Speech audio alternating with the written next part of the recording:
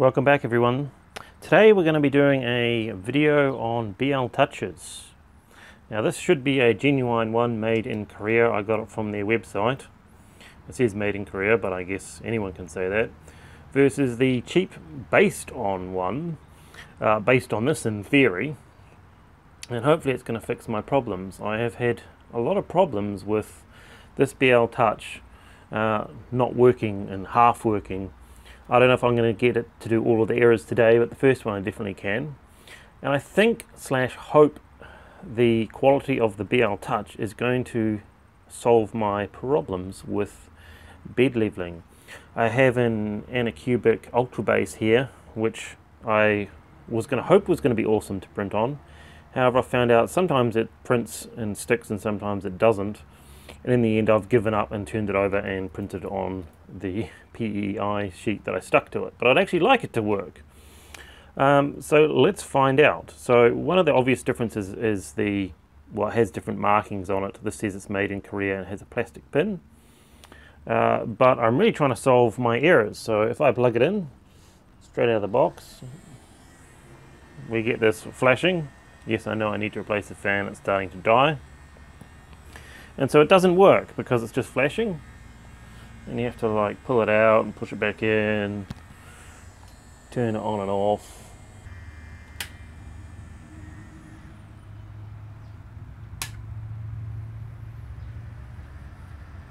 Still not working. After a restart, maybe pull the pin down, turn it off.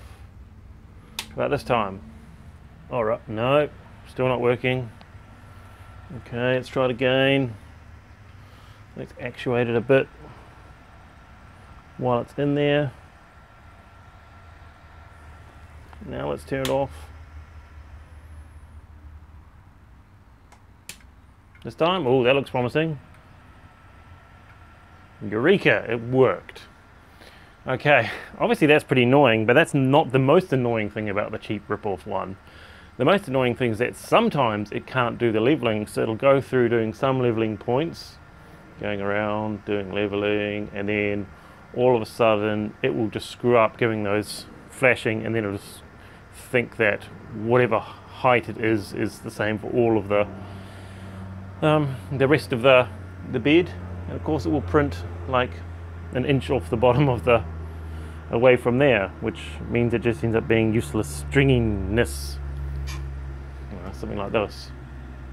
So I'm going to see if we can't get it to give us that error right now.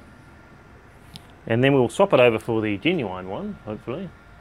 And we'll try it again. And hopefully, money well spent.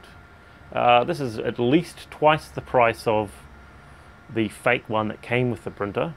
I actually got this from AliExpress, which might surprise some people, but uh, according to their official website, they do have an official uh, vendor on AliExpress sending genuine BL touches, and I will link to that below. Now, obviously, you're going to be tempted to go to the link and go, oh wow, but I can get it for half the price or $5 cheaper somewhere else. Uh, don't get sucked into that because we all know we can get rip-off ones and a lot of people have had problems with them, with the accuracy and this sometimes the probe not working. We're trying to avoid having cheap, nasty, fake rip-off ones. We're hoping that to get a genuine one that actually works all the time and results in accurate readings. I know poor old, um, I don't know how you say it, Antic Labs com complains about the fact that these are reviewed, assuming that they're actually genuine ones, and people uh, point out how bad the accuracy on these are, whereas of course the genuine one they claim is actually pretty accurate. Well, it can't be much worse than this because this is pretty random sometimes. So right now I'll try and do a bed leveling with like a whole heap of posts, uh, points, posts, hmm. and we shall see if we can get it to stuff up for you.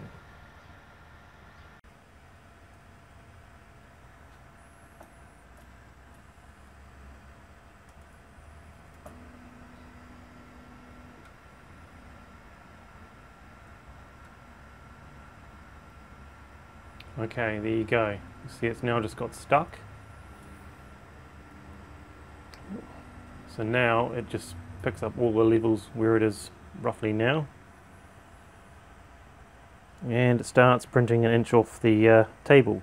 So interestingly enough, this is the fifth time I've run through the auto leveling process. Uh, it has stuffed up twice out of the five. Now the first time I actually wasn't recording, duh. So um, so I didn't have that video, so I had to keep going. So it's quite annoying that sometimes it works and sometimes it doesn't. What that means is that if you want to print anything, you actually have to stand here waiting for ages to make sure that the auto leveling process goes through. If it fails, you have to start the print again. And that is very, very annoying, um, especially since a number of times it will just happen multiple times in a row um, where it's failing to do the auto leveling. Other times you might be lucky the first day, bam, you won't have any problems and it will just work. So I know it's definitely the the probe, because I actually had a different controller on here, it was the Ramps 1.4 touchscreen, which had this problem. I've now swapped to the uh, Lerdge, which I'll do a video on, and it still has this crazy flashing uh, process where it breaks down. So I'm going to swap over to the hopefully genuine one, should be, and we'll see how we go. Now one thing I have noticed is that the probe doesn't come out anywhere near as much on this as the uh, fake one. However, the fake one has to go up quite a long distance before it actually engages the sensor, so maybe it doesn't actually make a difference. So we'll swap that over and hopefully that'll be the end of all these problems. The problems are it randomly doesn't work like that flashing and I have what I believe problems with the leveling. I'm pretty sure sometimes it doesn't detect the right height and therefore my prints won't stick. Okay, this is it now working with the genuine made in Korea BL Touch versus the based on rip-off made in China. Though interestingly enough I can't say any see anywhere where it says made in China. Which I thought they had to say that. But anyway, we're currently doing our fifth or sixth auto level and it has worked perfectly. So that has made me very happy to spend some money and finally get this thing reliably printing. Now when it came to actually swapping them over, it was much simpler than I thought, even though this does have a really long probe on it. It, like I said, the first part does nothing of the travel. So it's ended up being basically the same, obviously not exactly the same, and both of these had the plug so I didn't I just unplugged the rip-off plug and plugged into the genuine probe and Bob's your uncle for a random saying that uh, probably no one uses these days so I can highly recommend buying a genuine BL Touch over a fake no worky worky now I presume you didn't actually buy a fake no worky worky on purpose um, that probably happened because you bought a printer and we everyone buys things based on price and so they're not going to ship you a genuine one. Now as I said before the links I will have in the description below. Uh, don't be tempted to sway off the divine path to the genuine parts um, in the in the attempt to save a few dollars because we'll end up back where we started with fake parts that don't actually work. Okay, so that's my very, very happy review on fake versus genuine BL Touches, or at least I believe it to be a fake versus genuine one. Uh, and for those of you who have noticed that, that I have this fan power cable running across the prints, um, yes, I know, I do need to do something about that. That's not supposed to be like that, but it didn't really matter for my uh, investigation on auto leveling issues. So thank you very much guys. We shall see you on the next one. Bye bye. Woohoo! Happy chappy! It works now. Doo -doo -doo